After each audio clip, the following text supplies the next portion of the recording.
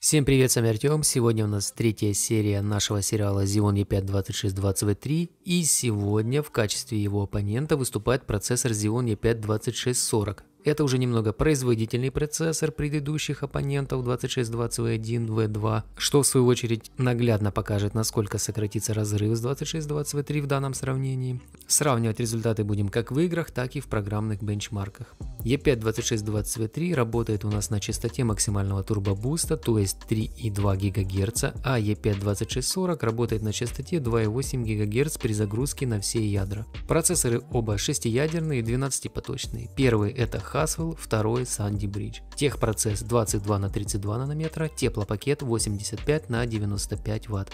2620V3 работает с памятью DDR4 на частоте 1866 МГц, а E52640 с памятью DDR3 также на частоте 1866 МГц. Оба комплекта работают в четырехканальном режиме.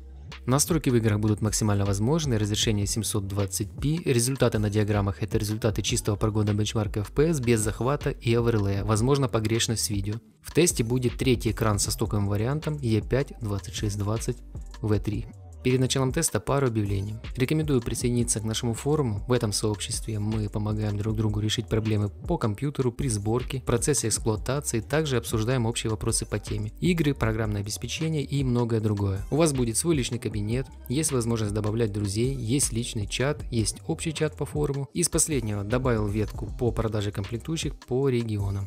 Заходите, не стесняйтесь, тут вам всегда рады. Ссылка на ресурс в подсказках и описании. А второй момент это хотели бы вы видеть сравнение 2620V3 с Ryzen 5400. Если такое желание есть, то давайте наберем 500 лайков под этим видео до следующей серии, где у нас будет участвовать E52630V2. Это примерно около 5 дней. Наберем и я сразу пойму, что такое сравнение вам интересно и приобрету данный процессор. Начинаем по старинке с тени Лары. Средняя частота кадров по бенчмарку 96 на 72. 2620 V3, конечно, впереди. Да, и теперь по температурам не 10 градусов разница, а около 3.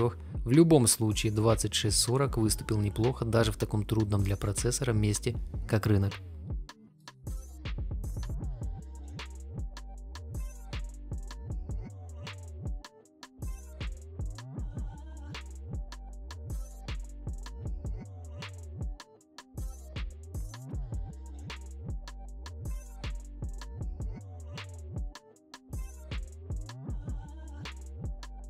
GTA 5. Средняя частота кадров 69 на 51. Сразу бросается в глаза то, что температуры почти одинаковые. В последнем эпизоде с машиной видно, что разбег по кадрам у 2640 имеет более широкий диапазон, тогда когда у 2620 V3 более сжатый разброс. В целом предпосылок сказать, что преимущества катастрофические нет, но все же отрицать выше производительность 2620 V3 также не стоит.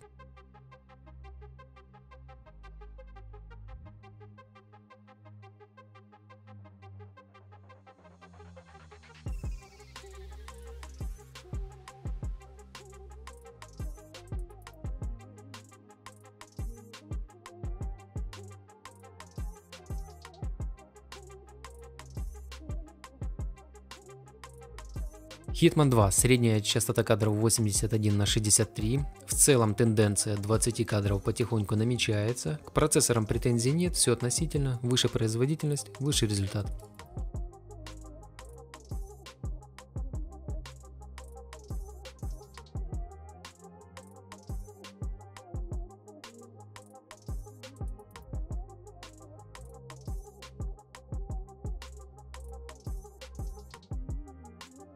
PUBG у нас средняя частота кадров 137 на 131, что не так убедительно, как в других проектах. Самое интересное, что в начале тестового отрезка 26-23 показывают серьезные показатели, но к середине потихоньку сдувается.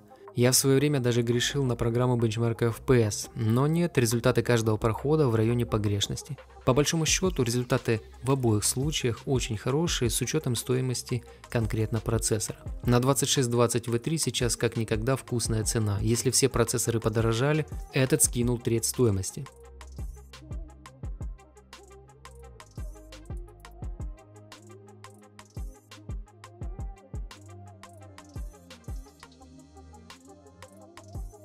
Dota 2. Средняя частота кадра 150 на 126. Тут уже есть соответствие. Разрешение у нас тут Full HD, видеокарта это позволила.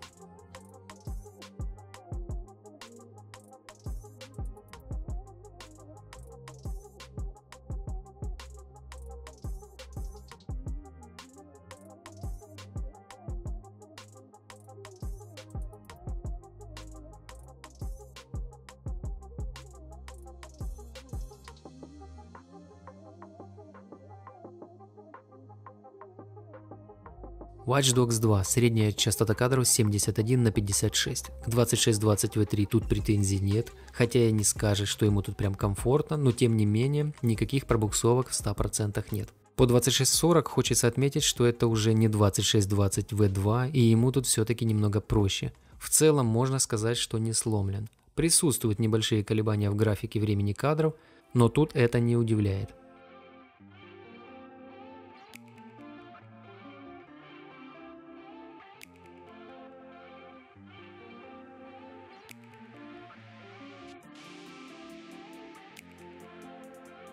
В танках бенчмарк Encore RT версия 02, средняя частота кадров 272 на 244, по данному проекту все неплохо.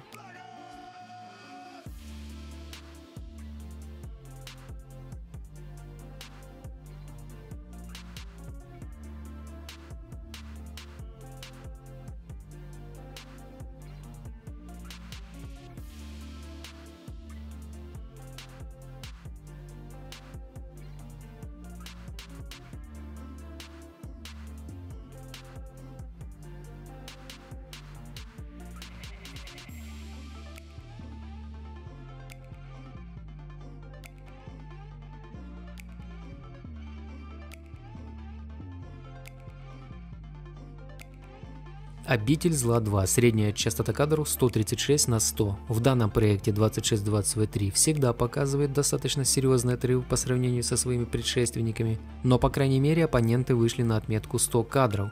До этого только 80 кадров покорялись 2620V1 V2.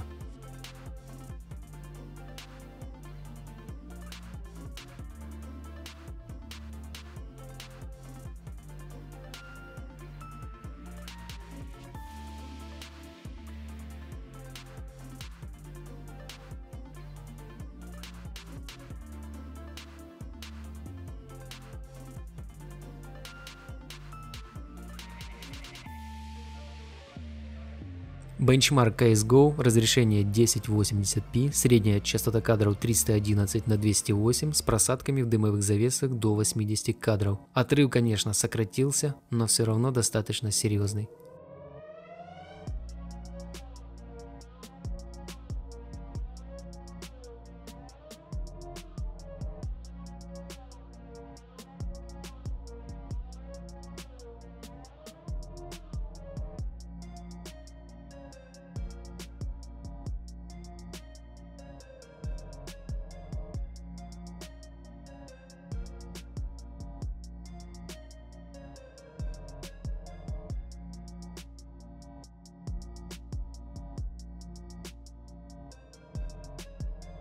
И последний на сегодня проект это бенчмарк Stalker Zoo Припяти, результат которого мы посмотрим немного позже.